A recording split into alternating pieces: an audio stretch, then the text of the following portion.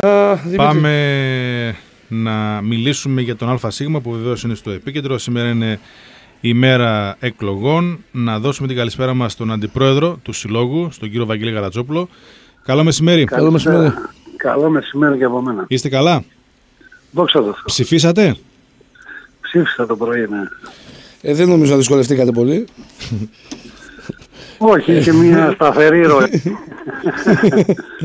Είναι και ένα ψηφοδέλτιο, δεν είχατε κάποιο προβληματισμό όλο αυτό.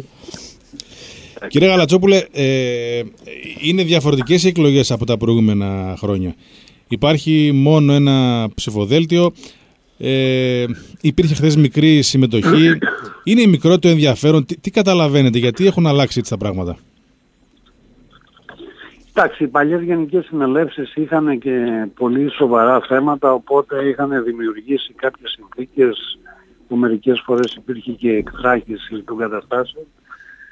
Ε, η χθεσινή γενική συνέλευση πράγματι ήταν μια ήσυχη γενική συνέλευση με γύρω στα 170 άτομα, αν θυμάμαι καλά, ε, που πλέον α, σίγουρα είναι λυπηρό το να είναι 170 μέλη του ΠΑΟΚ στη γενική συνέλευση. Ήταν 170 τελικά, γιατί ξεκίνησαν με 80, πήγαν 170 ναι, αν θυμάμαι, αν θυμάμαι καλά πρέπει να ήταν γύρω στο 160 το νούμερο. Μάλιστα, εντάξει. Αλλά εγώ λέω γενικά ε, για το κλίμα. Ένα ψοβδέλτιο. Ε, μικρή συμμετοχή, ίσως μικρό το ενδιαφέρον. Μήπως είναι τόσο μεγάλη η, σιγουριά του κόσμου και των μελών για εσάς. Τι είναι; Το ένα ψηφοδέλτιο δεν νομίζω ότι είναι κακό, διότι πραγματικά η δίκη του κυρίου Κατσαρή και χωρίς να θέλω να πενέψω τον πρόεδρο κτλ. είναι μια σοβαρή διοίκηση και στα δύσκολα τα χρόνια κράτησε την ε, οικογένεια του ΠΑΟΚ, την περιουσία του ΠΑΟΚ, αλλά και από εκεί και πέρα θα πρέπει να ξέρετε ότι στον Εραστέχνη ΠΑΟΚ που πλέον αριθμεί 20 και από χθες 21 τμήματα, 21 με περίπου 5.000 παιδιά, γίνεται μια πάρα πολύ σοβαρή δουλειά. Με πρώτο και σημαντικότατο θέμα το ότι είναι ο πιο πλούσιος σύλλογος, έχοντας την, στην περιουσία του δύο ιδιόκτητα γήπεδα, mm-hmm. συν πλέον μετά και χθες την ανακοίνωση του Προέδρου τα γραφεία του Συνδέσμου Φίλων ΠΑΟΚ στην Αθήνα. Ναι. Ε, από εκεί και πέρα έχει μια περιουσία με 5.000 παιδιά στα διάφορα τμήματα κολυμβητικό, ε, βόλεϊ, handball και όλα για να μην αναφέρω όλα τα αθλήματα και κουράζω. Το τρίτο και σημαντικό είναι ότι γίνεται πάρα πολύ σοβαρή δουλειά στο κομμάτι το αθλητικό και βλέπετε ότι είχαμε την επιτυχία την τεράστια του βόλεϊ πρώτη φορά στην ιστορία και από ό,τι φαίνεται πάει πολύ καλά και στο πρωτάθλημα, το handball ανδρών, το handball γυναικών. Ναι. Οι διάφοροι έφοροι αναφέρανε ο καθένας στα τμήματά του τις επιτυχίες στην πάλη, στην κολύμβηση κτλ. Και το πιο σημαντικό από όλα για μένα νομίζω ότι είναι πιο υγιής και οικονομικά εραστέχνης σύλλογος στην Ελλάδα, ο οποίος δεν χρωστάει ούτε στην εφορία, ούτε στο ΙΚΑ ένα ευρώ και από εκεί και πέρα λειτουργεί με τα έσοδά του και αντίστοιχα διαμορφώνει τα έξοδά του. Είναι έτσι όπως το λέτε και υγιής και δυνατός και πλέον παίρνει και πρωταθλήματα. Και νομίζω, και, και νομίζω ότι αυτό είναι το σημαντικότατο. Όπως επίσης πολύ σημαντικό είναι ότι σε αυτές τις δύσκολες συνθήκες ε, καταλαβαίνετε ότι παλιά τα έσοδα του Εραστέχνη ΠΑΟΚ αγγίζονταν τα 2,5-3 εκατομμύρια επειδή έχουν κοπεί σε μηδενικό επίπεδο πλέον όλες οι επιχορηγήσεις ναι. στα εραστεχνικά τμήματα πλέον ζει μόνο από τα έσοδά του και ένα μεγάλο έσοδο ας πούμε είναι η συμφωνία που έχουμε με, κάνει με τον κύριο που πραγματικά όπως είπε και ο κύριος Κατσαρής χθες είναι ο σωτήρας του ΠΑΟΚ διότι πρώτον έσωσε τον ΠΑΟΚ δεύτερον ε, έχει επενδύσει αρκετά χρήματα και τρίτον νομίζω ότι θα τον αλλάξει επίπεδο. Μισό λεπτό. Πριν πάμε σε αυτό που είναι πολύ σημαντικό. Είναι όπως τα λέτε για τον ΑΣ ΠΑΟΚ. Πραγματικά. Γιατί όμως στην αρχή της χρονιάς όταν ε, για πρώτη φορά εκδόθηκαν κοινά ειστήρια, κοινό ειστήριο διαρκείας έδωσε μόλις 380 όπως χθες ανακοινώθηκε. Πού, πού, πού εκτιμάτε ότι θα ο μικρός αριθμός; Ε, εγώ νομίζω ότι η, επειδή και εμείς και εγώ ας πούμε προέρχομαι από το οπαδικό και από τη θύρα 4 που εκεί μεγάλωσα κτλ. Ξέρετε ότι ο κόσμος του ΠΑΟΚ είναι ποδοσφαιρόφιλος. Αυτό είναι μια πραγματικότητα, άρα δεν με εκπλήσει. Και για μένα θα σας πω ότι είναι, α- αν θέλετε, όχι θετικό με την καλή έννοια τα νούμερο 380, Μμμ. αλλά σαν αρχή είναι πολύ καλό. Δέστε το παράδειγμα με το μπάσκετ. Το μπάσκετ για μένα κάνει πρωταθλητισμό. Και δεν εννοώ σε σχέση με Παναθηναϊκό και Ολυμπιακό, Ναι. εννοώ σε σχέση με τα δεδομένα τα οικονομικά που έχει, σε σχέση με την κατάσταση που είναι και σε σχέση αν θέλετε και με την αγωνιστική δραστηριότητα. Μμμ. Και παρόλα αυτά βλέπετε ότι επί τρία χρόνια η ομάδα κατακτά την τρίτη θέση, παίζει στην Ευρώπη. Βλέπετε ότι ήρθαν ομάδες στο μπάσκετ, ε, η, η Καρσίγιακα, η Κίμκι που θα πάει στο τελικό κτλ. Και παίξαμε στο παιχνίδι και είχαμε 150 ειστήρια. Άρα λοιπόν ε, σε αυτό νομίζω ότι παίζουν πολλά πράγματα ρόλο. Παίζει το θέμα αυτό που είπα ότι ο κόσμος του ΠΑΟΚ είναι ποδοσφαιρόφιλος κατά βάση. Κάτι πρέπει να αλλάξει όμως, ε. Σίγουρα, εμείς τουλάχιστον στο, και στο κομμάτι του εραστέχνη αλλά και στο κομμάτι του μπάσκετ που ασχολούμαι έτσι με αρκετό χρόνο Ναι. προσπαθούμε όπως βλέπετε να, να αλλάξουμε και να προσελκύσουμε ένα κοινό ακόμα εκτός του κόσμου του οπαδού και του φιλάθλου οικογένειες, παιδιά, ακαδημίες βλέπετε σε κάθε αγώνα μπάσκετ ότι τουλάχιστον θα έρθουν τέσσερις, ε, τέσσερα σχολεία, τέσσερις ακαδημίες κτλ. Και κάνουμε διάφορες κινήσεις να προσελκύσουμε τον κόσμο ώστε να αλλάξει και η κουλτούρα λίγο έτσι γιατί ένα δεύτερο θέμα σίγουρα είναι η κουλτούρα που σε σχέση με την ευρωπαϊκή κουλτούρα όπως βλέπετε στα γήπεδα της Γερμανίας η Alba, η Bayern ας πούμε στο μπάσκετ που μέχρι πέρσι δεν υπήρχε να έχει ένα γεμάτο γήπεδο με 8.000 κόσμο. Πάντως κύριε Γαλατσόπουλε αποδείχθηκε στο βόλι, για παράδειγμα, ότι το γήπεδο είχε πάνω από χιλιούς φιλάθλους αφού κατέκτησε το κύπελο. Δηλαδή, μάλλον Σίγουρα, τα τρόπια ε. λείπουν πιο πολύ από όλα. Αυτό είναι ένα σημαντικό θέμα και καταλαβαίνετε όπως είδατε και στο handball. Προχθές ε, πιστεύω ότι είχαμε γύρω στις 3.500-4.000 κόσμο. Και θα πήγαιναν και πιο Ε, πολύ στη συνέχεια. Εντάξει, και θα πάνε. Αν υπήρχαν και ελεύθερα τα ειστήρια κτλ. Πράγματι ότι ο κόσμος του ΠΑΟΚ είναι διψασμένος τόσα χρόνια Αυτό από είναι. ένα τίτλο. Όπως ας πούμε για μένα ο λόγος που στεναχωρέθηκα ας πούμε στο παιχνίδι του Παναθηναϊκού δεν ήταν ότι χάσαμε. Μμμ. Ήταν ότι χάσαμε την ελπίδα της διεκδίκησης ενός τίτλου. Έτσι, είναι, έτσι. Που για μένα θα άλλαζε, να σας το πω έτσι απλά, θα κέρδιζε το ΠΑΟΚ άλλα χίλια ειστήρια. Σε του κάθε, χρόνου. σε κάθε μάτι, ναι, σε κάθε μάτι, ναι. Έτσι. Γιατί είναι αλλιώς όταν πάρεις το κύπελο, είναι αλλιώς όταν α, δεν το πάρεις. Και κάπου εδώ Και ξεκινάει η επειδή είναι κουβέντα. διψασμένος ο ΠΑΟΚ, γι' αυτό νομίζω ότι είναι και αυτό μια αιτία, όπως επίσης είναι και το οικονομικό έτσι. Ναι, Ναι, και, και κάπου Όσο εδώ- και να ναι. το λέμε εμείς έτσι απλά, ας πούμε, δεν έρχεται ο κόσμος στο μπάσκετ, για να έρθει κάποιος στο μπάσκετ θέλει να δώσει και 20 ευρώ ναι. Α, σε κάθε παιχνίδι. Αυτή είναι και, αυτό είναι και το θέμα από εδώ και στο εξής. Εγώ αντιλαμβάνομαι τη δίκηση Κασαρή που τόσα χρόνια ήταν σε θέση άμυνας γιατί ο Πάο ποδοσφαιρικός Πάο ουσιαστικά ήταν, είχε μεγάλα προβλήματα. Ωραία. Και αναγκάστηκε τέλος πάντων να κινήσει μια, να έχει μια πολιτική τέλος πάντων προσεκτική και αμυντική. Έτσι ώστε να διασφαλίσει τα συμφέροντα του συλλόγου γιατί διαπιστώσαμε πολλές φορές στο παρελθόν να δέχεται Έτσι πίεση ο ακριβώς και Κατσαρής. νομίζω ότι πολύ καλά έκανε ο κ. Ναι. Κατσαρής. Πλέον με τον Έχει Ιβάν, δικαιωθεί, ναι, έχει δικαιωθεί. έχει δικαιωθεί αυτή η στρατηγική του. Πλέον με τον Ιβάν Σαββίδη στον Μπάουκ, που κακά τα ψέματα είναι ένας οικονομικός παράγοντας που όλοι ονειρευόμασταν σε επίπεδο τουλάχιστον οικονομικό, τώρα στα υπόλοιπα θα βρει το δρόμο του. Μήπως τελικά κύριε Καλατσόπουλο και ο ΑΣ θα πρέπει να ανοίξει λίγο την πόρτα του, να βάλει λίγο επιχειρηματίες μέσα στα τμήματά του, να, να κυνηγήσει τέλος πάντων κάποιους ανθρώπους του οποίους δεν ανήκουν στο στενό πυρήνα των παραγόντων του Μπάουκ, κακά τα ψέματα. Ε, νομίζω ότι αυτό γίνεται. Εντάξει, μπορεί να μην γίνεται έτσι πως το λέτε ακριβώς σε ευρία έννοια. Μμμ. Παράδειγμα, ας πούμε, είναι ο κύριος Αμυρίδης, ο οποίος βοηθάει τα τμήματα και θέλω και δημόσια να τον ευχαριστήσω, ε, που είναι δίπλα στα τμήματα, είτε στην πάλη, είτε στο handball, είτε οπουδήποτε. Ο κύριος Μαλέλης που προσπαθεί και αυτός είτε μέσω του κυρίου Κοντομινά να βοηθήσει. Ε, γίνονται, αν θέλετε, να το πω αλλιώς, γίνονται λίγο σε προσωπικό επίπεδο. Αυτό. Και εγώ όπου μπορώ και σταθώ, ας πούμε, στην Αθήνα, εκτός από τη δουλειά μου, ας πούμε, μιλάω για τον ΠΑΟΚ. Και μάλιστα πρώτα βάζω τον ΠΑΟΚ και μετά τη δουλειά μου. Ναι. Ε, γίνεται, α, θα, θα συμφωνήσω ότι μπορεί να γίνει και πιο οργανωμένα και πιο επικοδομητικά. Ναι. Και νομίζω ότι θα είναι ένας στόχος από την, ε, της καινούργιας διοίκησης αυτό το πράγμα να ανοιχτεί.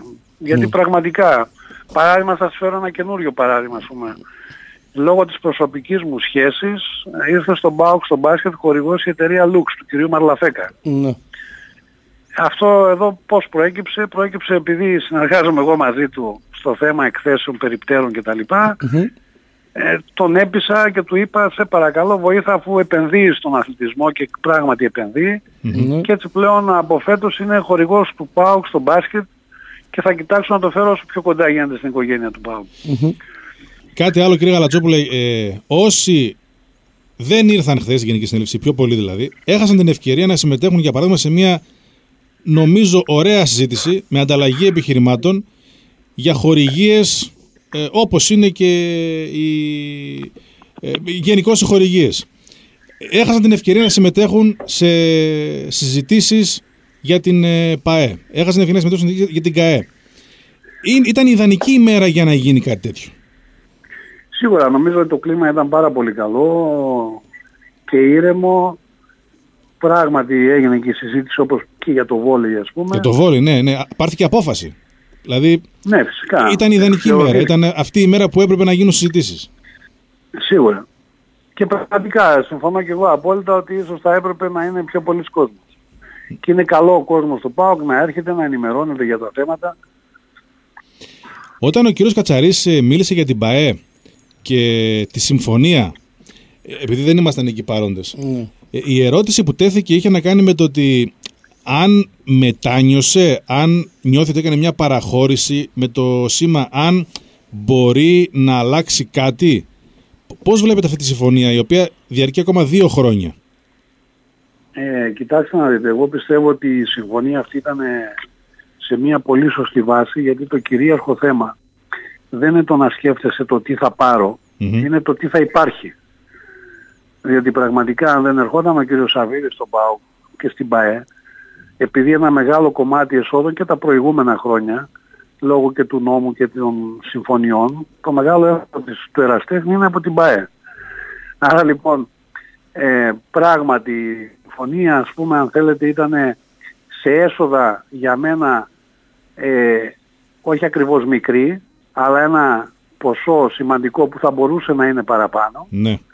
Αλλά το κυρίαρχο για μένα ήταν ότι ήρθε αυτός ο άνθρωπος, έσωσε τον διότι με την ευλογία αυτή που ήρθε πλέον είχε έσοδα και ο εραστέχνης και θα έχει από εκεί και πέρα. Και πλέον επειδή πράγματι όπως είπε και ο κ. Κατσαρής έχει υπογραφεί μια πενταετής σύμβαση που λήγει το 2017 μετά θα μπορέσει να ξαναδιαπραγματευτεί από την αρχή την καινούργια συμφωνία και επειδή πιστεύω πλέον και ο κύριος Σαββίδης ο οποίος παράδειγμα βοηθάει και τον μπάσκετ δεν είναι μόνο το ποδόσφαιρο ή μόνο εραστέχνης έχει τεράστια βοηθήσει και την ΚΑΕ. Ανά πάσα στιγμή και ώρα που χρειαστήκαμε ήταν δίπλα μας. Και έτσι να τον ευχαριστήσω και δημόσια μια που μου δίνεται η ευκαιρία. Ναι. Άρα λοιπόν πλέον πιστεύω ότι και ο κύριος Σαββίδης έχει έρθει στην οικογένεια του ΠΑΟ γιατί αλλιώς ήταν ο Αύγουστος πριν τρία χρόνια που ήρθε και αλλιώς είναι τώρα με μια επιφυλακτικότητα, ε, με μια έτσι, συγκρατημένος. Ναι. ναι. είναι έτσι. Ναι, γιατί πλέον έχει γνωρίσει ανθρώπους, έχει, έχει δημιουργηθεί σχέσεις και νομίζω ότι αυτή τη στιγμή είμαστε στο καλύτερο επίπεδο σχέσεων μεταξύ ΠΑΕ, ΚΑΕ και Ερασιτέχνη και κ. Σαββίδη. Γιατί μας δίνεται η εντύπωση ότι ο κ. Σαββίδης από λεγόμενα δικά σας ή πληροφορίες που προκύπτουν είτε από την ΚΑΕ είτε από την ΑΣ είτε μας είχε δηλώσει ο Δημοκράτης Παπαδόπουλος τις προηγούμενες μέρες εδώ στο, στο Λίμπερο γιατί μας δίνεται η αίσθηση ότι υπάρχει μια σιγουριά πως ο Ιβάν Σαββίδης θα εμπλακεί είτε στην ΚΑΕ είτε στον ΑΣ ακόμη περισσότερο; Ε, όσον αφορά το θέμα της ε, ΚΑΕ, εγώ αυτό που μπορώ να σας πω είναι ότι η βοήθειά του είναι πολύ σημαντική. Ε, και οι κινήσεις που έχουν γίνει νομίζω είναι οι κατάλληλες κινήσεις ε, διότι ο στόχος της διοίκησης του Μπάνε Πρέλεβης και εμού που συμμετέχω και των άλλων παιδιών είναι πρώτον η εξυγίαση παράλληλα με την πολύ καλή αγωνιστική δραστηριότητα. Αλλά ο κυρίαρχος στόχος της διοίκησής μας που είναι μια διοίκηση πρωτοδικείου είναι να δημιουργήσουμε όλες τις συνθήκες ώστε να έρθει επενδυτής στο μπάσκετ του ΠΑΟ για να αλλάξει και επίπεδο.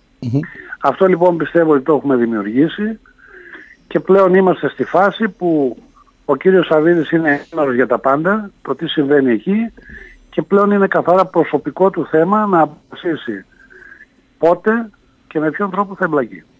Άρα περιμένετε τον κύριο Σαββίδη για το αν θα ελέγξει την ΚΑΕ ΠΑΟΚ.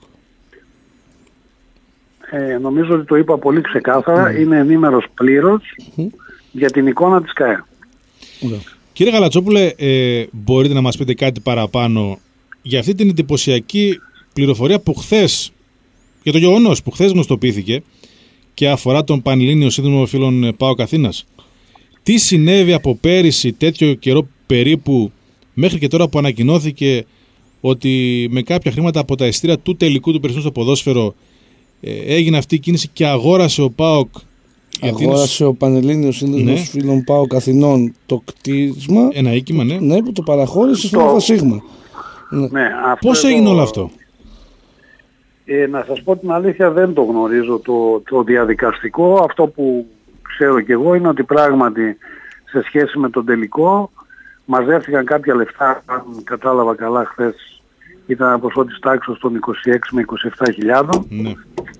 Και αυτά, με αυτά τα λεφτά αγοράστηκε ένας χώρος που πλέον είναι ιδιόκτητος και για να μην υπάρχει θέμα Μμμ. αυτός ο χώρος γράφτηκε στον Εραστέχνη ΠΑΟΚ στην ιδιοκτησία του και πλέον είναι ο χώρος και το σπίτι του ΠΑΟΚ στην Αθήνα που στεγάζεται και ο Πανελλήνιος Σύνδεσμος φίλων ΠΑΟΚ Αθηνών και αξίζουν συγχαρητήρια σε όλα τα παιδιά εκεί που καταφέρανε αυτό το, το πράγμα να υλοποιηθεί. Ω ιδέα και μετά ως πράξη κιόλας γιατί λύθηκε ένα πρόβλημα. Εν τω μεταξύ, Σίγουρα. εν τω μεταξύ είναι και ένα παράδειγμα του πώς αντιδρά πολύ ο κόσμος λανθασμένα. Γιατί είχε δημιουργηθεί η εντύπωση τότε ότι το καπέλο γίνεται προς Ότι κάποιοι όφελο. θα πάρουν λεφτά. Ναι, ναι, ναι, ναι. Το γνωστό. το γνωστό κύριε Γαλατσόπουλε που καμιά φορά δεν μπορείς να πεις γιατί γίνεται κάτι και βρίσκεσαι Σίγουρα. απολογούμενος παρότι εσύ μπορεί να έχεις κάνει τέλος πάντων δωρεά καμιά εκκλησία. Έτσι ακριβώς. Και Ναι. γι' αυτό νομίζω ότι είναι πολύ σημαντικό αυτό που έχει γίνει και ανακοινώνουμε. Για να κλείσουμε, κύριε Γαλατσόπουλε, και να πάμε στην ομάδα με την οποία είστε, ασχολείστε κάθε μέρα. Είναι αυτή τη στιγμή πρώτος στόχος η τρίτη θέση στην κανονική περίοδο; Και μετά βλέπουμε. Σίγουρα, αυτό. Ο στόχος είναι η τρίτη θέση. Πράγματι, μένουν άλλα τέσσερα παιχνίδια. Θα προσπαθήσει η ομάδα με όλες τις, τις δυνάμεις να μπορέσει να καταφέρει να κερδίσει και τα τέσσερα, οπότε να μην εξαρτάται από κάποιο άλλο αποτέλεσμα. Ε, αν θέλετε την προσωπική μου άποψη είμαι αισιόδοξος ότι θα καταφέρουμε στο τέλος να πάρουμε την τρίτη θέση και μετά να δούμε τα play-offs ε, βήμα-βήμα, αγώνα-αγώνα γιατί νομίζω ότι θα είναι και συναρπαστικά Ναι. και πολύ ενδιαφέροντα παιχνίδια γιατί πράγματι εκτός από τον, ΠΑΟ, από τον Παναθηναϊκό και τον Ολυμπιακό βλέπετε ότι και η ΑΕΚ έχει ενισχυθεί πάρα πολύ. Ο Άρης είναι μια πολύ καλή ομάδα, το Ρέθινο το ίδιο. Άρα νομίζω ότι θα υπάρχουν και σημαντικά παιχνίδια στα play-off. Άρα θα Για την ενισχυθεί, πρώτη θα φάση. ενισχυθεί και ο ΠΑΟΚ; Κοιτάξτε να δείτε, για να είμαστε ξεκάθαροι, Ναι. ε, ο ΠΑΟΚ δεν έχει αυτή τη δυνατότητα. Ε, Οικο- γιατί οικονομικ- δεν, μα- δεν- οικονομικά. Ναι, δεν, επειδή πραγματικά εμείς δουλεύουμε σε ένα πλάνο από την αρχή και όταν δουλεύεις σε ένα πλάνο δεν μπορείς ανα πάσα στιγμή να το αλλάζεις διότι θα δημιουργήσει καινούργια χρέη. Και καταλαβαίνετε ότι έχοντας τα προβλήματα και με τον Χαραλαμπίδη και με τον Κακαρούδη με δύο συμβόλαια που ήδη υπάρχουν Ναι. και με τις προσθήκες που κάναμε είτε με τον Μπρέμερ που στην αρχή και μετά έφυγε είτε με τον Χαριτόπουλο και το συνόδευση που πήραμε καταλαβαίνετε ότι η ομάδα σαν βασική προτεραιότητά της έχει την εξυγίαση. Από εκεί και πέρα γίνονται διάφορες ενέργειες και με ανθρώπους παράδειγμα όπως είναι ο κύριος Μαλέλης ή και με κάποιους άλλους που θέλουν και δείχνουν τη διάθεση να βοηθήσουν την ομάδα με την έλευση ενός παίκτη. Αυτό θα το δούμε στην πορεία. Μάλιστα. Δεν είναι όμως ο, ο πρωταρχικός στόχος της διοίκησης της ΚΑΕΠΑΟ. Και θα πρέπει να βρεθεί και κάτι εξαιρετικό νομίζω. Εντάξει, και σε επίπεδο συμφωνίας Σίγουρα, και σε γιατί, επίπεδο ε, ποιότητας. Ε, το, το ότι πρέπει να βρεθεί κάτι εξαιρετικό νομίζω ότι αυτό είναι δεδομένο. Γιατί και ο κύριος Μαρκόπουλος καταλαβαίνετε ότι δεν είναι από τους ανθρώπους που θα φέρεις ένα παίχτη για να το φέρεις. Μάλιστα. Κύριε Γαλατσόπουλε, καλή συνέχεια στον ΑΣ για τα επόμενα Ευχαριστώ χρόνια. πάρα πολύ Εμείς ευχαριστούμε. για τη φιλοξενία. Καλό Έγινε. μεσημέρι.